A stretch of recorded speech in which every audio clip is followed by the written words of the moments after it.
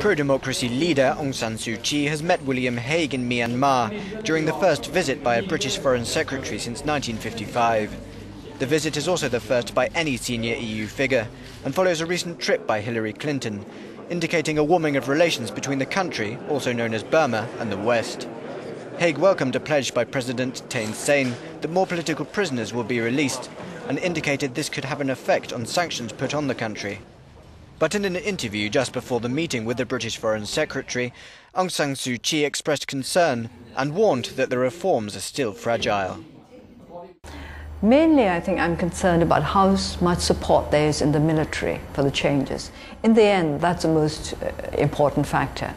How far are the military prepared to cooperate uh, with the reform process? As an Independence Day gesture, 900 prisoners were released last week, but it's believed that only about a dozen of them, if any, were political prisoners. Meanwhile, up to a thousand people from the 2007 anti-government protests remained behind bars.